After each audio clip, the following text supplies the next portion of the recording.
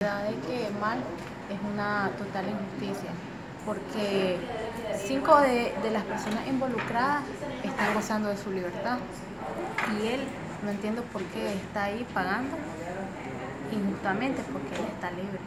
La verdad es que me gustaría hacerle un llamado a los gobernantes de que nos ayuden, de que hagan justicia y tomen carta en el asunto. De personas este, que están indisciplinados y entonces por, por, uno de ellos lo castigan a él también. Le, le llaman que lo meten a celdas de, máxima seguridad, lo empernan, no le dan visitas, no le dan alimentos en algunas ocasiones, ¿verdad? Lo han peloneado y él manifiesta porque se siente preocupado y dice de que este, quiere responsabilizar tanto al director del sistema penitenciario como al, al alcaide, ¿verdad? Por cualquier pues, cosa que él le pase. psicológicamente no está bien. Él hasta ha pensado hacer huelga de hambre, incluso coserse la boca.